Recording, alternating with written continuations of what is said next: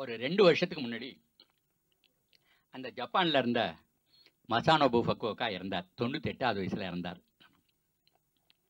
அவன் இறக்கறதுக்கு முன்னாடி என்ன நிரூபிச்சுட்டு போயிட்டான்னா ரெண்டே ரெண்டு வேலை விவசாயத்தில் செய்யணும். ஒன்று விதைக்கணும் ஒன்று அறுக்கணும். என்னால் நம்பவே முடியலை. எண்பத்தி நாலில் ஒரு வங்காளி இந்த புத்தகத்தை எந்த தள்ளினார். அவன் இந்த சமூக நலக்காடு துறையில் வேலை செய்கிறதுக்கு கன்சல்டன் அவன் தான் ஸ்வீடனுக்கு.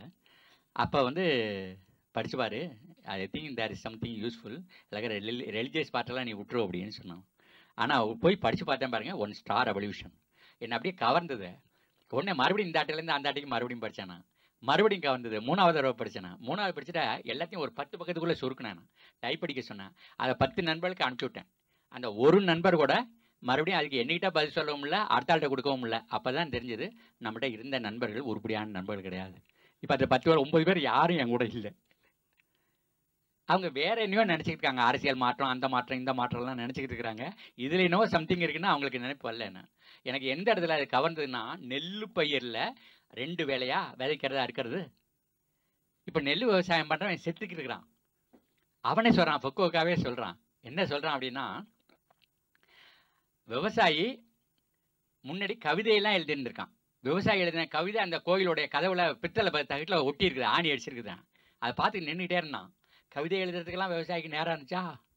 காலையில் எழுந்திருந்து வேலை செய்கிறான் தூங்க போகிற வேலை செய்கிறான் தூங்கும்போது நாளைக்கு என்ன செய்யணும் யோசிச்சுட்டு பிளான் பண்ணிட்டு தூங்க போகிறான் விவசாயி நேரத்தை திருடி கொண்டவன் யார்? அவனை கேள்வி கேட்டான்.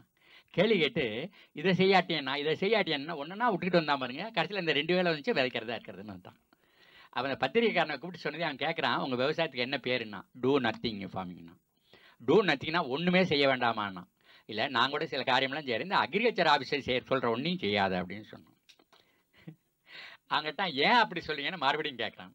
எங்கள் அப்பா காலத்தில் தோல் உயரத்துக்கு வைக்கலாம் அப்புறம் மேலே நெல் இருந்துச்சு. இது வேண்டாம் நிறையா விளையும்னு சொல்லி முக்கால் மூலத்தில் ஒரு நெல்லை கொடுத்தான் டார்ஃப் வெரைட்டிஸ் கொடுத்தான். அது என்ன பண்ணுது? வளரலையே வளரலையேன்னோம். அப்போ அவன் சொன்னான் உங்கள் குப்பைக்கு இது வளராது யூரியா போட்டால் தான் வளரும். விதையை கொடுக்கும்போதே சொல்லல விதை அமோக விளைச்சல் ரகம்னு சொல்லி தானே கொடுத்தான். அது வளரலைன்னு தான் யூரியா போட்டால் தான் வளருன்றான் அப்புறம் யூரியா போட்டால் ரெண்டு மூணு வருஷம் விளைஞ்சுது. மறுபடியும் விளைய மாட்டேன்றான். ஏன் நீ சொன்னதை போட்டாச்சு அப்புறமா விளைய மாட்டேங்குது. இல்லை யூரியா மட்டும் போட்டா கணது சூப்பர் பாஸ்பேட்டும் போடணுன்றான் இதா இதெல்லாம் முன்கூட்டி தெரியாமல் என்ன யூனிவர்சிட்டி என்ன சயின்டிஸ்ட் வேண்டியிருக்குது.